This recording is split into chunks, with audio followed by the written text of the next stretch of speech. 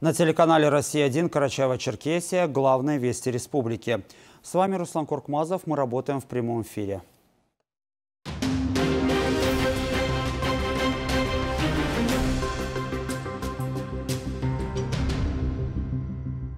Сегодня на заседании правительственной комиссии под председательством вице-премьера России Марата Хуснулина обсуждали итоги вчерашней прямой линии Владимира Путина. В работе заседания принял участие глава Карачаева-Черкесии Рашид Тимрезов и члены правительства республики. Были обозначены вопросы, касающиеся строительной отрасли, ЖКХ, газа и водоснабжения, с которыми люди обратились к главе государства. Марат Хуснулин дал поручение всем главам регионов проработать каждую проблему, прозвучавшую в прямом эфире, и все обращения, которые остались за кадром. Также говорили о реализации федеральных программ, о доступных результатах, проблемах, вопросах и о том, что предстоит сделать в ближайшее время и в долгосрочной перспективе. Тема ускорения темпов газификации регионов России и бесплатного подключения населения к распределительным сетям «Газпрома» за последний месяц стала одной из главных вестей. Обновленная программа газификации доведена два этапа – краткосрочно до 2023 года и долгосрочно до 30 -го. В результате реализации обеих ступеней уровень газификации регионов России значительно вырастет. О своем голубом топливе мечтает и жительница Узджигуты Роза Капушева. После вопроса Путина детально разъяснил ситуацию глава региона Рашид Тимрезов. На вопросы жителей Узжигутинского района ответил руководитель района Марат Мурат Лайпанов. Ахмад Халкечев продолжит. Большая часть земельных участков под ИЖС в этом районе Уджигуты была выделена еще в начале 90-х. С тех пор город постепенно рос и расширялся в сторону республиканской столицы. Во многих кварталах нового микрорайона еще лет 15-20 назад жители в складчину провели уличные сети газопровода. Но по мере плотности застройки мощностей газораспределительных пунктов здесь стало не хватать. Взять и решить весь комплекс вопросов в одночасье при всем желании, к сожалению, не получится. Но планомерная работа в данном направлении ведется не прекращаясь, заверил глава Усть-Дегутинского района Мурат Лайпанов. Он прибыл на встречу с жителями северной части райцентра с целью из первых уст донести до них всю последнюю информацию по данному вопросу газовики в ближайшее время должны уже приступить. По, в наших планах э, то, что они нам ответили, в начале следующего года уже полностью начнется э, возведение всего этого объекта. Уличной сети? У, уличной, именно уличной. Не среднего, а среднее уже в этом году должны отработать. То есть в 22 году уже газ здесь? Газ, да, газ однозначно будет.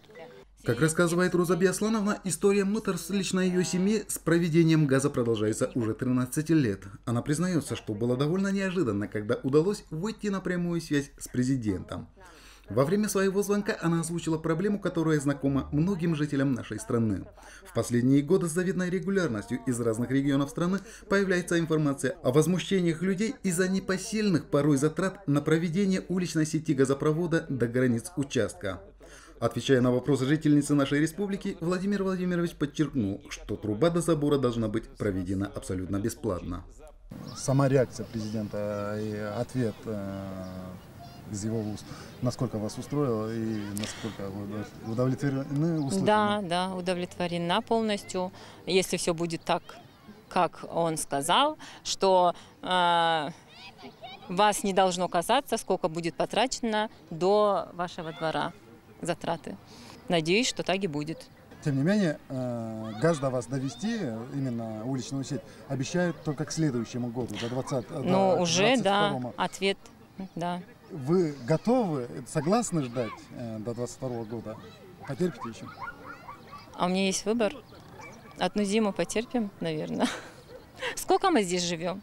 13 лет живем. Мы, а она с четвертого года. Ахмад Халкечев, Ислам Урумов, Вести Карачаева-Черкесия, Усть-Джугута. В парламенте состоялась очередная 25-я сессия. Пленарное заседание состоялось в формате аудиоконференции. Парламентарии рассмотрели более 20 вопросов. Комитет по законодательству и государственному строительству представил несколько законопроектов, разработанных в связи с изменениями федерального законодательства. Внесены изменения в республиканский закон о главе Карачаево-Черкесской республики и закон о народном собрании.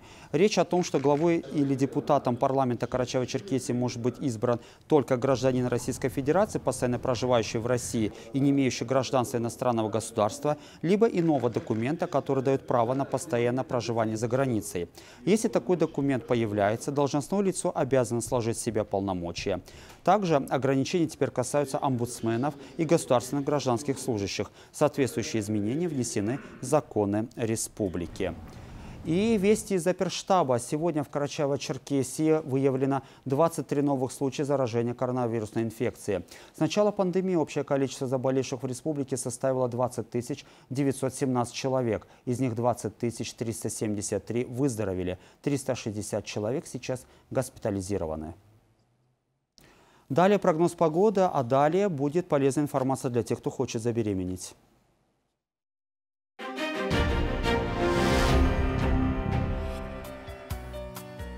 В Карачаево-Черкесии вечером и во второй половине дня местами кратковременный дождь и гроза. Ветер восточный 5-10, температура ночью 13-18, в горах до плюс 12, а днем 26-31, и в горах местами 20-25. Черкеске без существенных осадков, ветер восточный 5-10 метров в секунду. Температура ночью 16-18, а днем 29-31 градусов тепла. Лето будет чудесным с Московским индустриальным банком. Рефинансируйте кредит по ставке не выше 8,8% годовых. Оставьте заявку на сайте minbank.ru или приходите в офис. Московский индустриальный банк.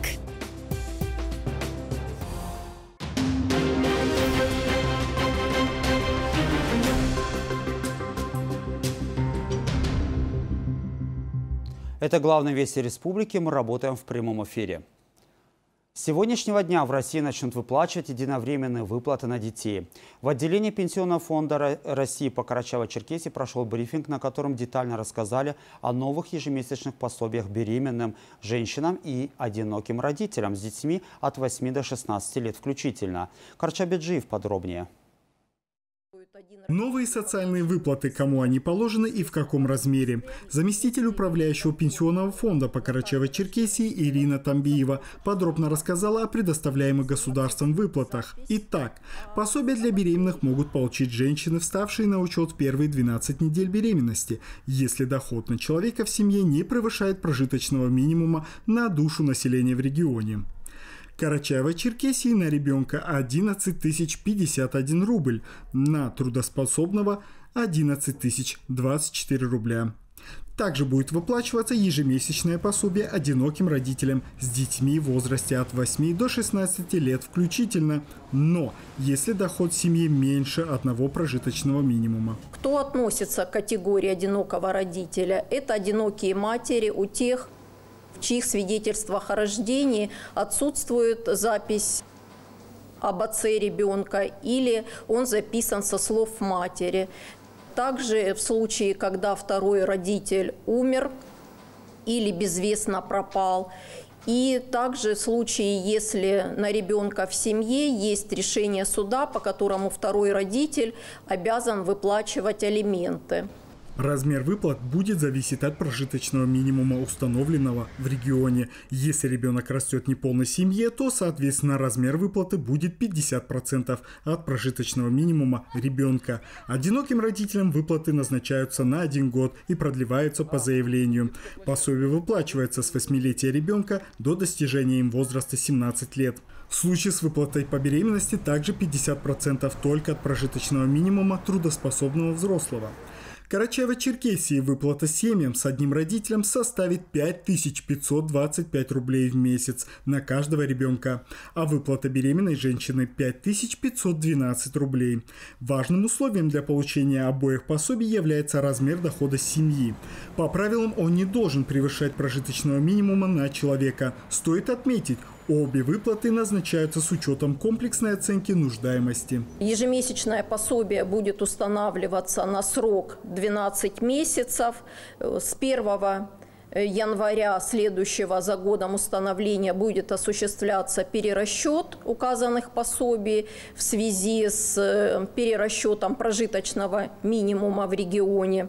Значит, э, пособие будет устанавливаться беременным с месяца постановки на учет. Если мама обратится в течение 30 дней с постановки на учет, или с месяца обращения в случае, когда мама обратится в органы пенсионного фонда по истечении 30 дней с момента постановки на учет. И это пособие будет выплачиваться вплоть до родоразрешения. Для предотвращения распространения коронавируса Ирина Тамбиева призвала граждан пользоваться дистанционным способом подачи заявлений. Тем более, что никаких дополнительных документов в большинстве случаев предоставлять не требуется. Всю необходимую информацию Пенсионный фонд запросит у уполномоченных органов самостоятельно. Если граждане лично хотят посетить Пенсионный фонд, то прием клиентских службах ведется по предварительной записи. По всем возникающим вопросам жители республики могут обратиться специалистам Пенсионного фонда по телефону горячей линии 8 800 600 02 91. Карча Биджиев, Ислам Урумов. Вести Карачаева-Черкесия. В рубрике «Наше наследие» сегодня мы расскажем вам о Саиде Халилове, революционере и просветителе. Его именем названы улицы, действует музей на малой родине Верхней Тиберде. Имя борца за советскую власть – это часть истории Карачаева-Черкесии. О Саиде Халилове материал Шерифат Лепшоковой. Тибердинское ущелье славится своей красотой далеко за пределами республики. Горы, воспетые поэтами, старинные храмы с тысячелетней историей и проживающий здесь народ с непростой судьбой, изменить которую в начале прошлого века мечтал уроженец этих мест Саид Халилов. Его отец – аварец из Дагестана, мать – жительница Улуч-Кулан. Ну как житель аула Хубар оказался в горах Карачая? Предание гласит, что уж очень обиделся молодой горец на отца, не разрешившего ему жениться на любимой девушке, и по местному обычаю сосватавшего ему двоюродного двоюродную сестру. А тем временем в родном ауле шли разговоры о сказочном крае Каращае, куда из разных мест бежали от бедности, внутри общинных раздоров и неурядиц. Так у аварца началась новая жизнь. В Ичкулане Мухаммада приютит семья Зикирьи Биджиева. Его дочь Хасанхан станет женой новопоселенца. Нагрянула чума, и семья переезжает в Тибердинское ущелье. Отец будущего революционера совершит паломничество в Мекку и станет Эфенди в Новом ауле. Тем временем Саид с похвальной грамотой закончит начальную школу и поступит поступит в Ставропольскую гимназию. Там мальчик откроет для себя новый мир, мир книг и музыки. Юный гимназист станет поклонником Шаляпина. Ставропольская гимназия в то время была очагом культуры на Северном Кавказе. Саида окружали прогрессивные преподаватели, оказавшие влияние на формирование его мировоззрения.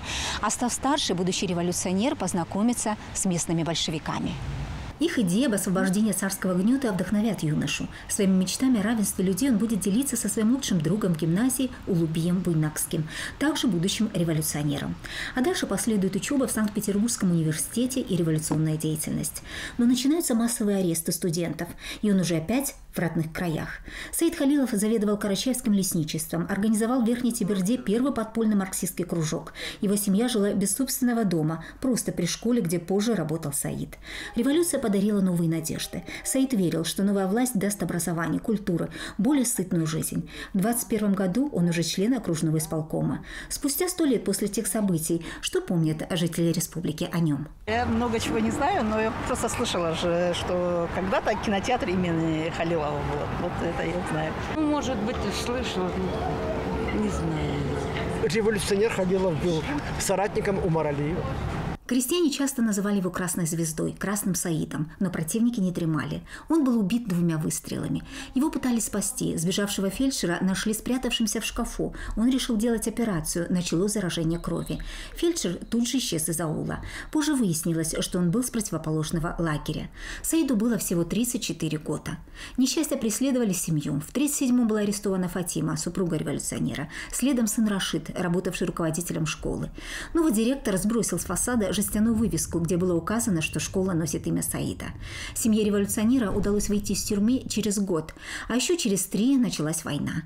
Фатима была выдана немцам и расстреляна. Младший сын Мунир погиб в сентябре 41-го, другой сын Рашид погиб в 42-м. Оставшаяся часть семьи была депортирована вместе со всеми карачаевцами. Саид Халилов искренне верил в новые идеи, был предан родине и народу. Так он воспитывал своих детей. Жизнь его супруги и сыновей оказалась трагичной, но, как и для Саида Халилова, судьба родной земли стала для них дороже жизни. Шрифат Лепшукова, Рашид Токов, Вести Карачаева-Черкесия. Таким был этот день в Карачаево-Черкесии. А далее, прямо сейчас, смотрите продолжение фильма «Эксперт». До встречи.